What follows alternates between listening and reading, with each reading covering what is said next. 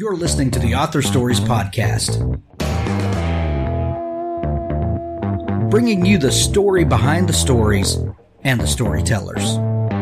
Margaret White, Terry Brooks, Sheena Kamal, Matthew Quick, JT Ellison, Walt D. Williams, Brad Thor, Cory Doctorow, Brandon Sanderson, Robin Mom, Ernest Cline, Jim Butcher, Charlaine Harris. Visit hankgarner.com for archives of all the shows. Today's guest is Well, thanks for joining me again for the Author Stories podcast, where I bring you the story behind the stories and the storytellers.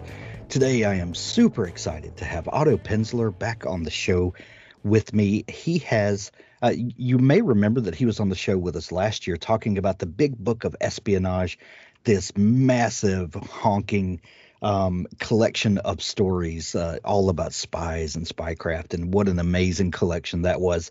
So when I saw that he had a new collection coming out this year, the Big Book of Victorian Mysteries, I just knew we had to get Otto back on the show to talk about it.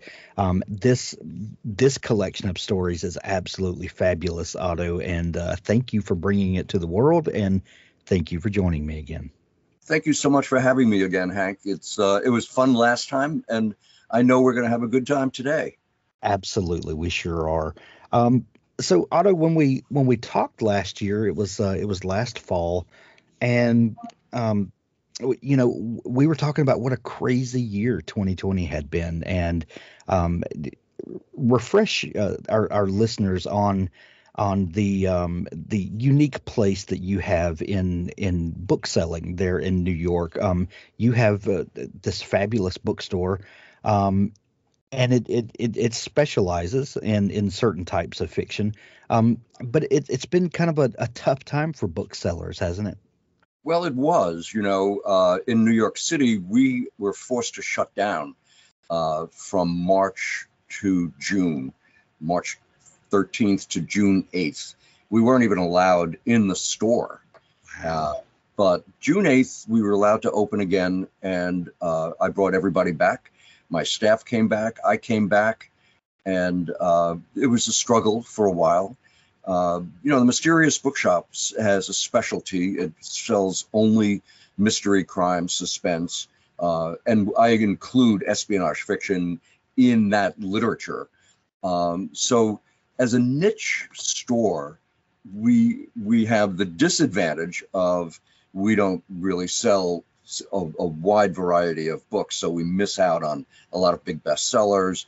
Uh, we don't sell political book. We you know we don't sell anything except in our genre, which is a disadvantage in one way, but because we have such a broad range of paperbacks, used paperbacks, new hardcovers, signed hardcovers, used hardcovers, rare books, uh, that we do have an international clientele.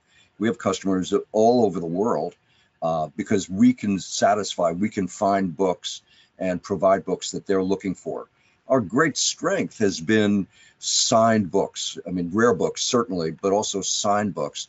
And that's where it's been the toughest for us because we can't compete with Amazon or Barnes and Noble, who frequently discount their books. We can't compete uh, on price.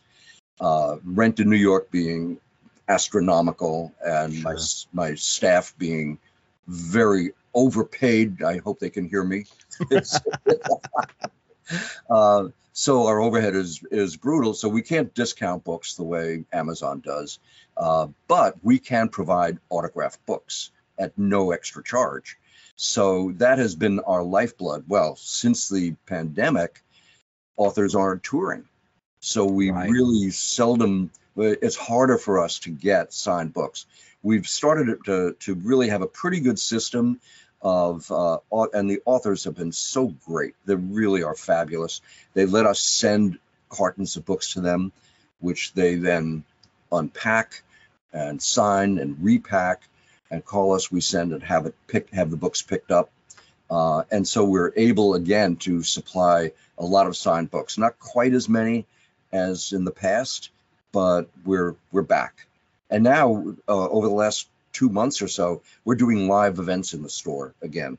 Uh, we we customarily have done roughly hundred signings uh, a year, uh, in-person events, And then we were doing some virtual events, uh, but it's not the same as being in the store. And we're starting to do those again. The first live event we did was with Joyce Carol Oates, which was just great. And we've done several since, and we have plans to do more. Well, with with doing hundred signings a year, that that comes out to roughly two signings per week. Um, I would imagine Were you, some a weeks math, are were you a math major? You're right. I, I would imagine some weeks maybe more than two, some weeks maybe less, but you know, as an average, um, that that is something that I feel like that we are losing uh, in in our culture now. Otto is you know with with Amazon and and Barnes and Noble, um, I can literally um, think about a book or or hear about a book, open my phone and have the book you know either the kindle edition immediately on my phone and then have it automatically sync to my kindle or i can have you know a book drop shipped to my house in, in a day or two. And and while that is convenient um, what we're missing there is this this community that builds up around bookshops and and, and you know places like yours uh, that that have events where people can congregate, come together. Not only are you supporting that particular author, but you're also supporting this um, this community uh, feeling. And and uh, how do you think that we're going to regain that uh, in in a time where where digital books and digital book selling is is encroaching on um, this thing that has been such a vital part of of the the the bookish community? Well, uh, I can say, uh, I mean, there are several issues that you just raised there. One is the actual events, and uh, and we're, we're, as I said, we're already beginning to do it uh, to bring them back. Uh, there are other bookstores in the country that are having live events again.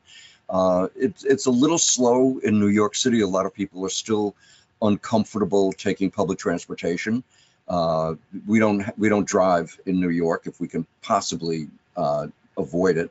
Uh, so we're not like most other bookstores, which are in malls or in places where uh, it's convenient to park. There's no place that's convenient to park in New York, just none. That's just a, a flat out general statement.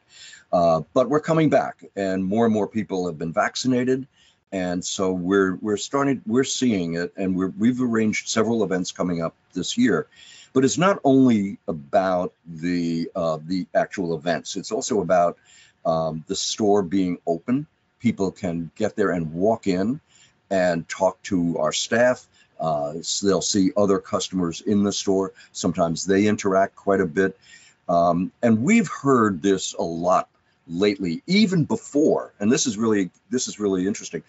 Even before the pandemic, we were getting customers coming back who who had been had been customers and then kind of stopped being customers because they found it so convenient to uh, to order from Amazon uh, and get their their fix instantly on their Kindle uh, or have books shipped to them right away.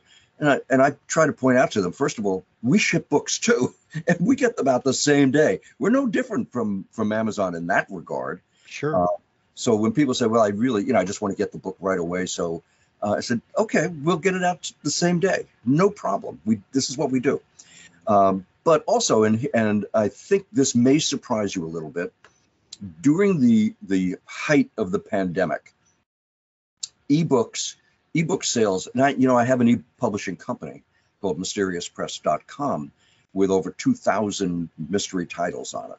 Uh, and they're available on Kindle and they're available on Nook and, and any other device that that uh, that readers have. Uh, we saw those sales go up by about 50%. But at the same time, and this is really almost hard to believe, physical books increased in sales. Everybody said, oh, well, bookstores, they're doomed because nobody's buying books. It's, it's not true. People bought more books than ever because they were locked out. They, they couldn't go to work. They couldn't do so many of the things. They couldn't travel. They couldn't go to Broadway shows. They couldn't go to movie theaters. So they, they stayed home and read. So book sales, both electronic and physical, went up during the pandemic and have stayed up month over month. But this year, uh, compared to say 2019 or 18 or 17, the sales have gone up, which is which speaks really really well for uh, for book publishing, for book selling, and for for readers. It's just it's really mostly all good news. I'm happy to say. Absolutely. Um, Otto, I, I remember we chatted a little bit last year about the role of um, suspense, thriller, mysteries, and and why those stories resonate so deeply with us. And and I I think in in talking with you and then talking with with so many different thriller uh, and, and mystery writers, is that um, you know through these stories we can we can kind of wrestle with some of the big questions about life um, from the safety of our reading chair. And and sometimes we we can wrestle with those things w- with them being couched uh, in in a story that that on the surface seems nothing like what we're dealing with or is is not necessarily reflective of the real world. Yet um, yet we we can kind of work through some of those those issues through story. And and you know that there's kind of a magic to it in in in a way that uh, that these things happen and um you know our, our minds process these stories in, in really unique and and impactful ways. Um, but looking at your new book victorian mysteries and we're talking about mysteries uh, i think that the collection that that you've put together is 49 stories uh, is that right That sounds about right. Yeah. and uh, they they take place uh, or, or were written between 1838 and 1900 uh, give or take when when looking through these stories and, and revisiting some of these classics to include in this collection um, were there themes that that jumped out at you and and I guess really what I'm what I'm asking is uh, the stories that that we're telling and selling now um, are are they reflective of the things that that writers and readers were going through you know almost 200 years ago in in some cases um, d- do you see the same human condition uh, events popping up Well, you know, a good writer, uh, a good fiction. I'm talking about fiction writers now, uh, and I'll say specifically uh, mystery, crime, suspense writers, but it's true of all fiction writers. They they provide a true picture of the time in which they're writing, assuming they're writing contemporary novels, obviously, or, or short stories. And it's more true. What they write is more true than the nonfiction of that same time. Because nonfiction, uh, let's say it's it's a political book writing about the politics of the day, uh, or or the war, or uh, so, social uh, uh, norms, and uh, they're generally told from a point of view, and so they they tend to be somewhat slanted to whatever that point of view may be. Whereas a fiction writer is telling his story. He he is focused on the plot, on his characters, but inevitably, and this is about only this only applies to good writers. Inevitably, he is putting those characters against a background of that time, and so you see what life is like. I mean, Charles Dickens is famous for having been maybe more influential than any politician in getting some of the dire circumstances of the Victorian era fixed, um, orphanages where where children were brutalized and so on, um, and the poverty that that that reigned in, in so much of London, and his portrayal of that uh, as background to his stories and his characters were tremendously influential in getting those getting laws changed to improve the um, the, the plight of, of the poor um, and the and the marginalized. The um, there's an American writer. Uh, when we think of Victorian, we think of England. You know, it's up to Right. 1902 because Victoria she died in in uh, 1902, so the stories go up to 1902. Uh, we think of England, but uh, the, the whole world lived through that same era. So there are also stories uh, that have been translated Uh, uh, Tolstoy wrote some wonderful crime stories. So did Chekhov, and they're in the book, and so are some Americans. Well, one of the Americans in this book, a man named Melville Davisson Post, sadly largely forgotten today, uh, wrote about a, a, a dishonest lawyer. Uh, there's a shock. Uh, uh, named Randolph Mason, and um, he had he took the position that he wasn't worried about you getting arrested, what he uh, or about getting you uh, off for committing a crime. He was concerned um, to have his characters do things that were not against the law. If it wasn't specifically prohibited in the law book, it was legal, was his position. And in one of the stories, he actually uh, advises his client to kill somebody to get off. Uh, and that actually, his analysis of those laws got some of those laws changed too. And so, yeah, so fiction writers really have a, uh, a, a, tremendous ability to, to inaugurate change, uh, even if it's not necessarily their point or the purpose of their story. And you see that in many of these Victorian stories where there's a background. I mean, some of them are uh, just pure fantasy, and I don't mean fantasy in the world in the way of, say, of Stephen King or J.R. Sure, Tolkien. sure. Uh, I mean, just like made up world that has nothing to do with reality. But many of the stories do, in fact, have a have a background of uh, of real life in that era. Dabble is a proud sponsor of Author Stories.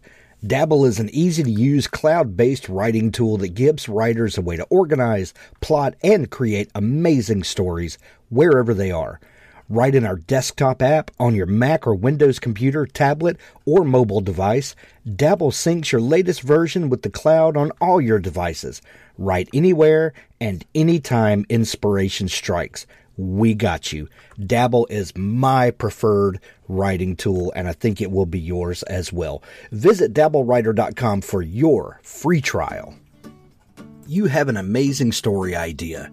You execute the writing and editing flawlessly, and now the only thing missing are readers. We can help you go from author to author superhero with Story Origin. Story Origin is a one stop shop for marketing tools with a community of amazing authors working together to find reviewers, build mailing lists, increase sales, and collect feedback from beta readers. Everything an author needs all in one place from providing review copies or beta copies, reader magnets to ensure you stay connected with readers, easily distribute audio promo codes, universal retail links to send readers directly to the proper point of purchase, or provide direct download links for members of your mailing list. Story Origin has all the tools you need in one easy to use site. Use the promo code ASP21 at checkout when subscribing to the yearly plan, and you will get 10% off your first year. This code will expire December 31st, so hurry over and subscribe now. StoryOriginApp.com. I'm, I'm glad you mentioned fantasy because um, in f- fantasy in the traditional sense or the, the literary sense of of fantastical worlds with with you know sometimes magic and and you know the the things uh, that that kind of define the boundaries of that genre. Um, it, in talking with fantasy writers, uh, a lot of times you'll you'll talk about how the appetites of readers have changed um, through the decades, and in a story like Lord of the Rings by J.R.R. Tolkien, you know, we may go a hundred pages before anything of of any um, I don't want to say substance. That's not the right where any action happens. There's a lot of world building, a lot of setting, a lot of um, getting the the feeling of the world before you know any any plot driven thing really happens. Um, and now, as a if a fantasy writer is breaking in today, um, you know you've got you've got about five pages to get someone's attention before um, they move on to something else, and and the the structure of story can't be the same as as Tolkien pulled off. Um, because it's just readers are are not um, they're expecting something different. Um, have in in vis- revisiting these stories and um, and a, a, lot of these writers and stories we're familiar with, others like you said um, are are uh, writers that have been mostly lost, uh, you know, to the sands of time. Um, but in reading these stories, do you have you noticed a difference in the way that we handle mysteries uh, today as you know uh, in in the the 19th century? Well that's uh, hank that's a really that's a really good question. And um, i would say it in a way uh, there's no difference really none. The uh, in the short form in the short story form you don't have a lot of time to start creating a different world or or uh, devote too much space to uh, to background and to uh, non-essential material. Um, in novels, it's it, there's maybe a little bit of, of, a difference there because they're a little they're much more leisurely the uh, than we than we're used to in contemporary fiction. But in the short stories, the writer gets down to it. You know, there's a crime there's a criminal, there's somebody who's who's going to be trying to catch him or stop him, whatever it is. And so it's a an ongoing uh, methodology where you did it in 1850, you're doing it in 1950, and you do it in 2020. You you have to get on with the story. That's the that's the good news about short stories, is that you get on with it. John Dickson Carr, the great uh, writer of Impossible Crimes and Locked Room Mysteries, uh, once said, although he wrote 49 novels, uh, he once said, the true form of the detective story is the short story because really the rest is filler. So he's got his mm. plot, uh, and you can show it in a, in a short story and not have a lot of superfluous uh, other material. Um, now, there's a difference between a short story. A lot of people don't like short stories. They want to be more immersed in the character and the background of the story and enjoy all of that. And it's more popular in or more common in Victorian fiction novels to have that leisurely pace where you really get to know the grounds, the house, the grounds, the dogs, uh, the the serving staff. You get to know all of those people, uh, and there are people who really like that, as, as I do. I'm a big fan of Victorian fiction. Uh, I think my probably my favorite writer of all time is Wilkie Collins, uh, and Dickens is close is close behind, and of course I'm an inveterate fan of Sherlock Holmes. And so when you read a Sherlock Holmes story, you think about Sherlock Holmes, you think about the eccentric character and you think about his slightly, slightly dimmer uh, partner and friend, John Watson, uh, who's serving the function that, uh, as for readers, he he. If, if, we want to ask a question of Holmes, it's Watson who's asking that question for right. us.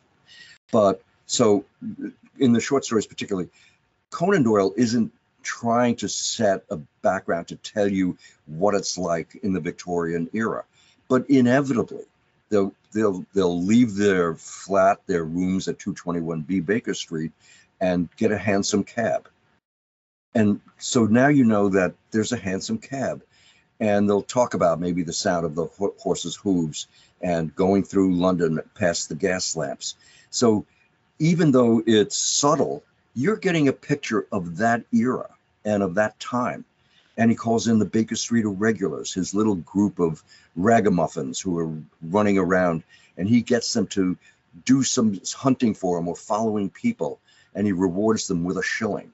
Uh, and that's and they're not the part of the regular de- police department, so he calls them his irregulars, and uh, and you really get to see how how excited these kids are, these young boys, uh, to get a shilling, which is not a whole lot of money but they're thrilled because they don't have any money. So it's all part of the background, but it's not being pushed down your throat. It's it's just there, and you absorb it without really paying attention. You don't say, "Oh, I'm so, I'm learning so much about what it's like in 1895 London," but you are picking that up. uh, even though it's not necessarily the author's intent or your intent as the reader, but it but it happens through uh, the subtlety uh, by osmosis. You're picking up all of that. Speaking of uh, the short story versus the novel, there there used to be um, these great markets where you could be primarily a writer of short fiction. You could sell those works and you could make a decent living as a short story writer. And then occasionally we would see these writers that would uh, either publish a collection of their short fiction or publish a novel that they had written. Um, but we primarily thought of them as short fiction writers. And Ray Bradbury was a great example of, of a working writer who was constantly writing, uh, selling short fiction all the time uh, the occasional novel, the occasional collection. Um, but he was he was absolutely a short fiction writer. Um, a lot a lot in publishing has changed over the last couple of decades, and more and more of those markets are drying up where where you can sell short fiction. Um, thank God we have collections like the Big Book of Victorian Mysteries is you know is a a collection of older stories, but there are still anthologies being printed now of of new fiction, and you know there's a market there. Uh, but what do you think about um, you know the way that people break into the market now? It, it used to be that um, you know you would write short fiction until you could do the other, um, but that's that's sort of changing now, isn't it? Oh, it, it, it's changed a long time ago, Hank. Uh, in the 19th century, uh, Conan Doyle made much more money uh, selling his Sherlock Holmes stories to the Strand magazine than he did on his novels. Uh, in the turn of the century, uh, there are writers like O. Henry, for example, who, who never wrote a novel. And yet we all know who he is. He's very famous and made quite a good living at it. Edgar Allan Poe. Uh, some people claim that uh, that one of his his works is a novel, but it's a novella. Uh, but his entire career was either poetry or short stories or right. criticism. Uh, then you know when as the there were fiction magazines all over the place that paid fairly well because that's how that's what people were reading, and uh, in those days in the Victorian era. Full length novels tended to be rather big, because as I said, you know, they were much more leisurely. So it was very common for books to be published in two volumes or three volumes. A single novel would run two or three book, two, two or three volumes, and they were so expensive that the vast majority of readers uh, couldn't afford it. But they could afford magazines and read stories and uh, and bought the books in serial form. Dickens, for example, uh, and and Collins and many others, uh, but but famously Dickens, uh, almost all of his books appeared in uh, weekly parts uh, where you would buy uh, a couple of chapters and pay a couple of pennies for it and then keep reading. And most of them appeared in 19 parts. And then eventually the book would get published. But, but because they were so inexpensive as serials, people would buy that. But as for short stories, uh, there was so many magazines, and then of course the pulp era came around, in America, particularly, and writers were being paid a penny a word or two cents a word, but the magazines were 10 cents or 15 cents. Um, before that, there were dime novels and nickel novels uh, that that readers could afford, and the more uh, the more people became educated and more people became literate, um, there were more and more material being published for that uh, as literacy increases. They wanted more to read, and so publishers created more and more. Went from nickel and dime novels to pulp novels, but in the uh, in the in, in America, in the early part of the 20th century and even into the middle part, um, magazines like the American Magazine or Collier's or Scribner's, uh, Saturday Evening Post, very famously, paid vast sums. F. Scott Fitzgerald, when he was writing for the Saturday Evening Post, was paid $10,000 for a single short story. And this is the wow. 1930s. That's like that's like getting a $100,000 today. Sure. And they could afford to do it because the circulation was in the millions. And there are no magazines publishing fiction that have that kind of quantity anymore. That number of uh, of stories, uh, that number of subscribers. Um, the, the major subscription magazines today are things like the AARP magazine, um, and House and Gardens has millions of circulation. But magazines that used to publish a lot of fiction, like Redbook, uh, which became a women's magazine uh, in the middle of the of the 20th century, they published The Thin Man. They published the first edition of The Thin Man. They published so much Wow. fiction that they could actually put in a full length novel. Those days are gone. That's incredible. Well, Otto, um, when you start thinking about a collection like the Big Book of Victorian Mysteries, what sort of rules did you set for yourself? What sort of boundaries, um, a- as you started you know, digging through this this vast amount of stories that are out there, um, and and start kind of did, did you have a, a a kind of a grand vision for this, and and uh, you know was there a a narrative thread that you were trying to put together? What what were some of the ground rules that you set for yourself? Well, Hank, uh, you know, I, this is the, I think it's the 12th big book that I've done for Random House. Uh, every year, October, uh, there's a new book, and uh, it's got a subject. It was Sherlock Holmes mysteries uh, stories one year. It was Christmas mysteries another year. It was uh, female detectives another year. And so uh, when I deliver that book, I tended to have lunch with my editor, and we would talk about the next book. And usually, I, I would come up with an idea, and he would say, "Sounds great, go and do it." Uh, so then it would take me roughly a year to do the book because I I read three, four, five hundred stories to find the best. But uh, the the the the notion, the the idea, the concept is created by the title. So last year was the big book of espionage. So obviously, not hard to figure out. They were espionage stories. So my boundary was what? It, it had to be an espionage story, and it had to be good. And I tried not to, in almost all of my books, I tried not to use more than one story by an author, uh, by a single author. Uh, I, I wasn't totally committed to doing that, but I tried. I didn't want to publish like 11 Sherlock Holmes stories in the big book of Victorian uh, uh, mystery stories because they're readily available elsewhere. But I've been, it's important to know that for 50 years, little more than 50 years of my life, I have been devoted to mystery fiction. And I, I'm a, I've been a voracious reader since I was four years old. And so I've read a lot of mysteries. And so I have a pretty good idea of what I want to be and whatever the subject is. I have a sense of, oh, I know I know the people who wrote great female characters for the female uh, detective book. I know uh, all of the parodies and pastiches that have been written about Sherlock Holmes. Not all, there have been 25,000, but I know a huge number of them, and I know the good writers. And then I and I've read many of them, so I would go back and find those stories that I remembered, and uh, and reread them because what you loved when you were 27 may not be what you still love when you're 67 and so I reread the stories, and uh, and then I that's how I picked the best stories. And because uh, they're big books, I didn't have a space limitation.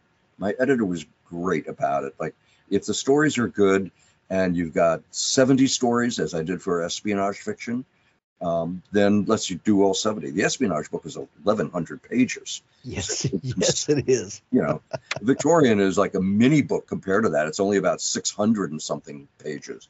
Um, you know, it's the equivalent of three or four normal full length books, whereas Right. the espionage was the equivalent of six or seven full length books. Uh, so, so I didn't have that limitation, but all I had to do was find the best stories for that title, for that concept, and the books. You know, after that, there, there was the book. The Big Book of Victorian Mysteries, when you're hearing this show, is going to be available everywhere. Uh, we're going to have links to it in the show notes where you can grab it, um, you know, in Kindle edition or paperback. But please go visit your local bookstore and uh, let's keep this culture of bookstores thriving. Uh, it's important, and and I, I hope other people realize that and do as well. Whether you are a uh, a fan of of mysteries and thrillers and uh, and want to revisit uh, some of these stories that maybe you read as you were younger, or you want to kind of visit the the foundations of of this genre and and what we now appreciate uh, in in the modern uh, mysteries genre. The, these will uh, absolutely entertain you, and this will not be time uh, wasted to dig into the big book of Victorian mystery. 640 pages, I believe it is, um, enough to carry you through the the dark, uh, cold days of winter for sure. Um, Otto, if if people are just discovering you and all the great stuff that you're involved with, where can they find you and all of your work online? The easiest place is www.mysteriousbookshop.com. Uh, there's a, a, a, little button there that says about Otto Penzler. I'm there. It lists lots and lots of books. You can sign up for our weekly newsletter. It's free. There's no obligation. Uh, you'll see a lot of books. You see a lot of books that I've edited or, or written, uh, and of course, every major writer of crime, thriller, espionage, detective stories in the world. Uh, they're they're all there. Love it. We'll make sure to link that up so that people can easily find you and all of the work that you're involved with. The Big Book of Victorian Mysteries. This is a must have. And you know what? It would be a fantastic gift to give to that uh, book lover and that mystery lover in your life for this holiday season. That's Otto, commercial, Hank. Thank you. well, Otto, it's always a pleasure to catch up with you. Um, thank you for doing all that you do, and uh, we wish you much continued success. Thank you so much, Hank. You're a real gentleman. I appreciate it. Now stay tuned for an audiobook excerpt from Richard Gleaves' The Jason Crane series. The year was 1834. The month was December. I was 14. Irving's tale was by then well known. The characters of Brom Bones and the beauteous Katrina were widely understood in town to refer to my parents. Rumors persisted. I heard the name of Headless Horseman whispered. My father dismissed all these tales, calling them malicious. Yet more than once I saw him and my mother scanning Agatha's face across the supper table, finding only a secret smile and a look of defiance. I found the rumors fascinating. I followed Agatha like a pup, waiting for her to cast some magic spell. And one day she did. The household servants had set a fire in the hearth for her comfort, and she sat close to it, counting out small gold coins upon a lap board. I hid in the shadows, hoping she might drop a coin and I could retrieve it for myself. One of her servants, a West Indian girl, carried a snowy log into the room and set it on the fire. It began to hiss and pop, the snow melted, and the fire sputtered out. Agatha cursed as I had never heard her do before.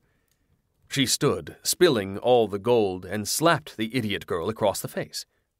The girl ran, and my grandmother muttered to herself, searching for match and tong to no avail. When she was not looking, I crept forward and took for myself one of the gold pieces. Then something remarkable occurred. My grandmother sighed, knelt before the fireplace, reached for the logs, and her right hand caught a fire. Flame blossomed and coiled about her wrist. I gasped and cried out, Shh! Don't be afraid, my Dylan. Your hand! She raised her palm. Flame sat cupped in it, casting the shadow of her fingers upon the ceiling and walls. Lock the door, she said. I obeyed. She pointed to the floor, and I sat, waiting breathlessly. This is the Van Brunt gift. It will be your gift as well, soon, and your children's forever afterwards. Why does it not burn you? I asked. Why should it? Do I deserve to be burned? No. Then I am safe from the fire. Do you deserve to be burned, my Dylan? I shook my head. Show me. I reached for the flame and took it. I pulled back at once, crying out with pain, wagging my fingertips. The fire caught my sleeve. I could not rid myself of it, as if I clutched burning tar. The pain intensified. The blisters broke, and a rivulet of lymph ran down my arm. Your conscience knows, Dylan. You deserved to be burned. Say it. I deserved to be burned, said I. Again. I deserved to be burned. She turned her palm. The gold piece. I nodded and brought the stolen coin from my pocket. She took it and raised it to the light. You cannot wield the flame with guilt in your heart, son. Try, and it will devour you. Do you understand? I nodded. A Van Brunt should not be so weak. I'm sorry I took the gold, grandmother. I'm sorry I was bad. Don't be ashamed of me. She frowned and laid the gold coin on her lapboard. She shook her head sadly. I'm not ashamed that you took the gold. I'm ashamed that you felt the guilt.